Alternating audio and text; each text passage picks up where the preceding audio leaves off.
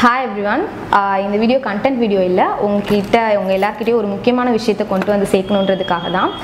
இப்போ நீங்கள் என்னோட சேனல் ஃபாலோ பண்ணுறீங்க அண்டு நிறைய டெஸ்ட் சீரீஸ்லாம் வாங்கி பர்ச்சேஸ் பண்ணியெல்லாம் நீங்கள் ப்ரிப்பேர் பண்ணுறீங்க அண்ட் வீட்டிலேருந்தே நிறைய பேர் பயங்கரமாக ஸ்ட்ரகிள் பண்ணி படிச்சுட்டு இருக்கீங்க.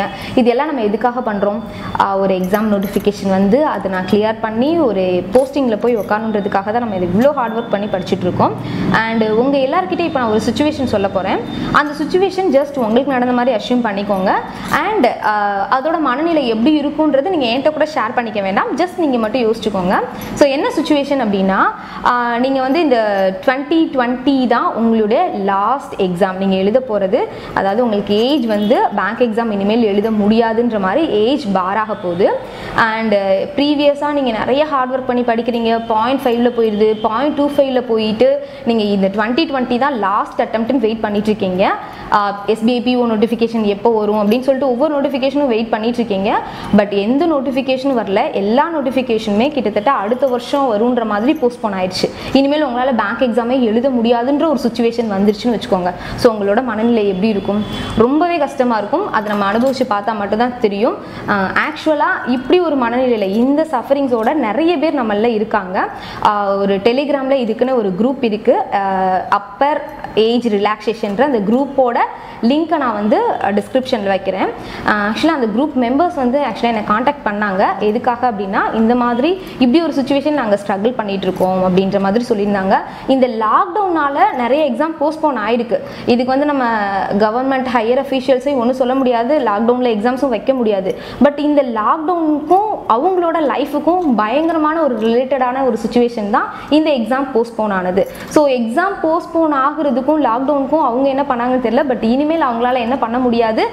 நோட்டிஃபிகேஷன்ஸ் எதுவும் இப்போ வரல அப்படின்னா கண்டிப்பாக அடுத்த வருஷம் அந்த நோட்டிஃபிகேஷன் வரும்போது அவங்களால அட்டன் பண்ணவே முடியாது. இவ்வளோ நாள் கஷ்டப்பட்டு படிச்சிருப்பாங்க. அவங்க லைஃபை அப்படியே பாதியில் நிற்கும்.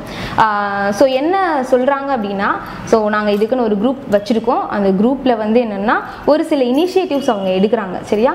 ஸோ என்ன இனிஷியேட்டிவ்னா ஹேஷ்டேக்ஸ் ஸ்ப்ரெட் பண்ணுறது அண்ட் ட்விட்டர் கேம்பெயின் மாதிரி கண்டக்ட் பண்ணுறது அந்த மாதிரிலாம் பண்ணுறாங்க ஸோ அதுக்கு நம்மளால் முடிஞ்ச சப்போர்ட்டை நம்ம கொடுக்கணும். ஸோ நீங்கள் என்ன பண்ணுங்கள் நம்ம இந்த இந்த இந்த வீடியோ பார்த்துட்டு இருக்க எல்லாருமே அந்த குரூப்பில் கொஞ்சம் ஜாயின் பண்ணி அவங்க கூட சேர்ந்து அவங்க என்ன என்ன இனிஷியேட்டிவ்ஸ் எடுக்கிறாங்களோ அதுக்கெல்லாம் நீங்கள் கொஞ்சம் ஹெல்ப் பண்ணுங்கள் ஹையர் அஃபீஷியல்ஸ்க்கு மெயில் பண்ணுறதா இருக்கட்டும் அரல்ஸ் இந்த ட்விட்டரில் ஹேஷ்டேக் ஸ்ப்ரெட் பண்ணுறதா இருக்கட்டும் அதெல்லாம் நம்மளால் முடிஞ்சதை பண்ணணும்.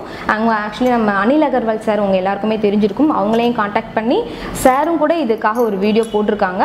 ஸோ நம்ம சைட்லேருந்து நம்ம இது இந்த சுச்சுவேஷன் உங்கள் எல்லாருக்குமே இதில் அந்த குரூப்பில் இல்லாத நிறைய பேர் இந்த சுச்சுவேஷனில் சஃபர் ஆகிறவங்களும் இருந்திருப்பாங்க. ஸோ உங்களில் யாரும் சஃபர் ஆனாங்கனாலும் சரி இல்லை நம்மளுக்கும் இந்த மாதிரி ஒரு சுச்சுவேஷன் வந்தாலும் சரி கண்டிப்பாக அது ஒரு கஷ்டமான மனநிலையில் தான் நம்ம எல்லாருமே இருப்போம். ஸோ அட்லீஸ்ட் இந்த இது வந்து ஹையர் அஃபீஷியல்ஸை ரீச் பண்ணுற அளவுக்கு நம்மளால் என்ன ஹெல்ப் பண்ண முடியுமோ அதை நம்ம பண்ணலாம்.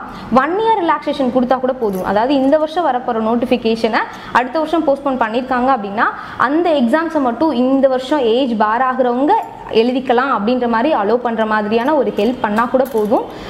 இது மத் ஹையர் அஃபீஷியல்ஸை ரீச் பண்ணுற வரைக்கும் நம்மளால் என்ன சப்போர்ட்லாம் அவங்களுக்கு கொடுக்க முடியுமோ என்னென்ன இனிஷியேட்டில் பார்ட்டிசிபேட் பண்ண முடியுமோ பண்ணலாம். ஸோ தயவு செஞ்சு எல்லாருமே அந்த டெலிகிராம் குரூப்பில் ஜாயின் பண்ணி அவங்க கூட சேர்ந்து ஒரு சில இனிஷியேட்டிவில் பார்ட்டிசிபேட் பண்ணுங்கள் அண்டு ஸோ இந்த வீடியோ பார்க்குறதுக்கும் அதில் போய் ஜாயின் பண்ண போகிறதுக்கும் என்னோட நன்றி.